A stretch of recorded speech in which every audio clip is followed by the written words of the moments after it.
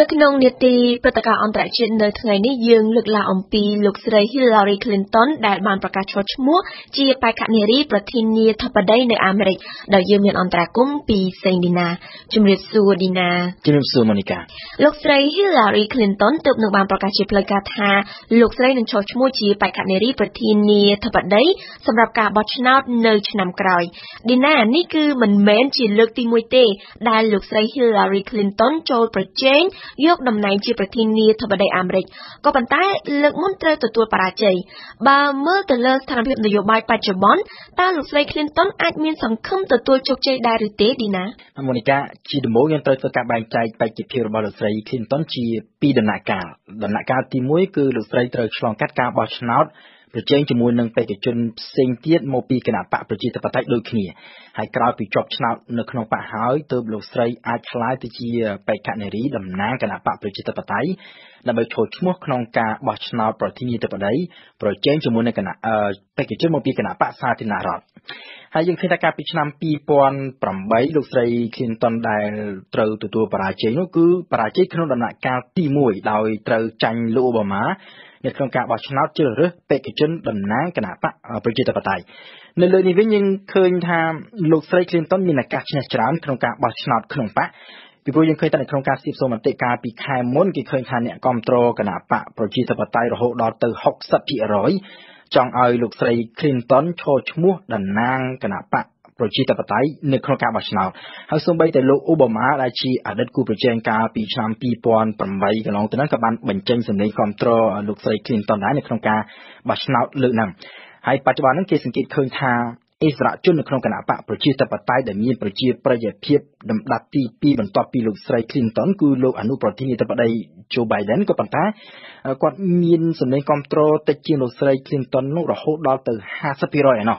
ហើយក្រៅពីនោះវិញបេក្ខជនផ្សេងផ្សេងទៀតហ្នឹងទទួលការគ្រប់គ្រងមិនដល់3%ផងទេមុនកា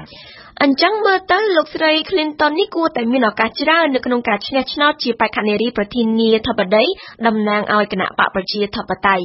ក៏ប៉ុន្តែតើលោកស្រីមានឱកាសប៉ុណ្ណាដែរនៅក្នុងការយកឈ្នះបេក្ខជនមកពីគណៈបកសាធារណរដ្ឋហើយក្លាយទៅជាប្រធានាធិបតីស្រីលើកដំបូងបង្អស់នៅក្នុងប្រវត្តិសាស្ត្រអាមេរិកឌីណា នៅក្នុងការបោះឆ្នោតក្រុមបកវាគឺជារឿងមួយលោកស្រី Clinton មានប្រជាប្រិយភាពនាំមុខគេយ៉ាងដាច់ឆ្ងាយ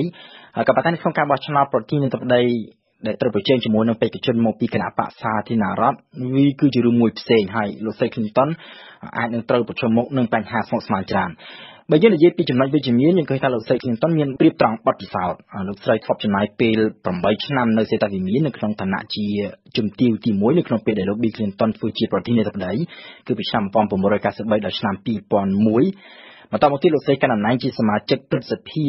តំណាងរដ្ឋ New York រយៈពេល2អាណត្តិពីឆ្នាំ2001ដល់2009 ហើយពីឆ្នាំ2009ដល់ឆ្នាំ2013លោកស្រីកាន់តំណែងជារដ្ឋមន្ត្រីការបរទេសនៅក្នុងរដ្ឋាភិបាលរបស់លោកអូបាម៉ាក៏ប៉ុន្តែការកាន់តំណែងនយោបាយជាច្រើនឆ្នាំជាប់ជាប់គ្នាមកហ្នឹងក្រៅពីអាចទទួលបទពិសោធន៍ច្រើននិងមានគេគោរពច្រើន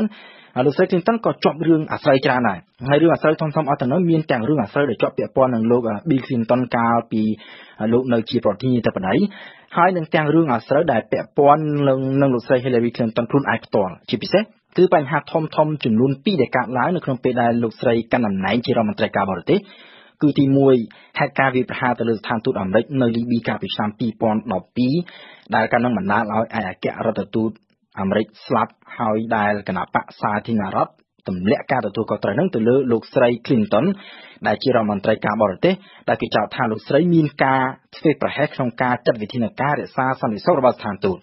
ហើយបញ្ហាចម្រូងចម្រាសធំទី2គឺរឿងលោកស្រី Clinton ប្រើអ៊ីមែលផ្ទាល់ខ្លួននៅក្នុងការបំពេញការងារជារដ្ឋមន្ត្រីការបរទេស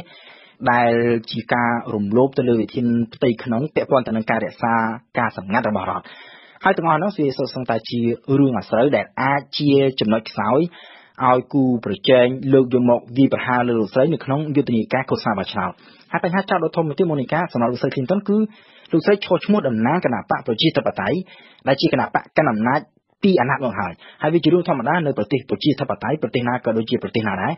គណៈបកដែលកាន់អំណាចគឺច្រើនតែទទួលការរិះគន់ច្រើនជាងគណៈបកប្រឆាំងគឺដូចជាពាក្យខ្មែរគេថា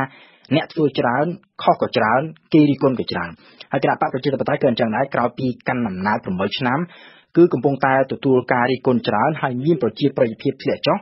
នៅក្នុងពេលដែលគណៈបកសាធារណរដ្ឋដែលជាបកប្រឆាំងកំពុងតែមានប្រជាប្រិយភាពកើនឡើងរហូតដល់ដណ្ដើមគ្រប់គ្រងសម្លេងភាគច្រើនទាំងនៅរដ្ឋសភានិងទាំងព្រឹទ្ធសភាដូច្នេះសម្រាប់លោកស្រី Clinton ចង់ក្លាយទៅជាប្រធានាធិបតីស្រីទី1នៅក្នុងប្រវត្តិសាស្ត្រអាមេរិកគឺត្រូវប្រឈមមុខនឹងបញ្ហាស្មុគស្មាញច្រើនមែនចា៎ចាអរគុណលីណាចំពោះបទអន្តរាគមន៍នៅថ្ងៃនេះ